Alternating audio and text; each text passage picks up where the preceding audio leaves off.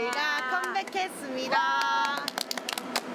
기존에 상큼 발랄했던 이미지를 좀 탈피하고 새로운 마음으로 여성스러운 매력을 가득 담아서 끈적끈적이라는 곡으로 돌아왔습니다. 들어보셨나요?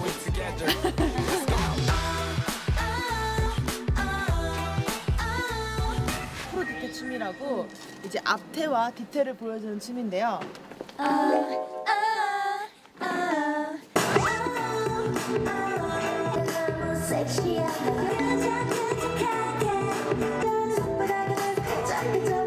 머리 길었어요.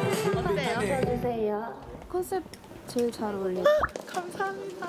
아 이제까지 냈던 앨범들 중에서 처음으로 머리 긴 거잖아요. 저도 막 처음에는 막 어색했는데 다들 막 괜찮다고 잘 어울린다고 해주셔서 다행이라고 느껴요.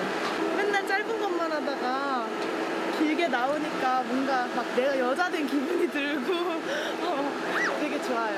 다들 긴 라인 긴 라인 막 이러더라고요.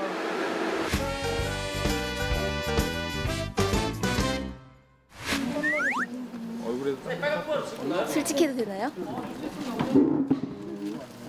유영이가 아닐까. 유영이가 아닐까 싶어요. 어떤 면에서? 왜냐면 제가 이제 스무 살이 돼서 처음으로 나온 컨셉인데 예전에 소녀였다면 이번엔 조금 더 숙녀스럽게 변한 것 같고 또 언니들 연습할 때 옆에서 열심히 따라하면서 언니들한테 많이 배웠거든요. 그래서 조금 더 많이 발전하지 않았나 싶어요.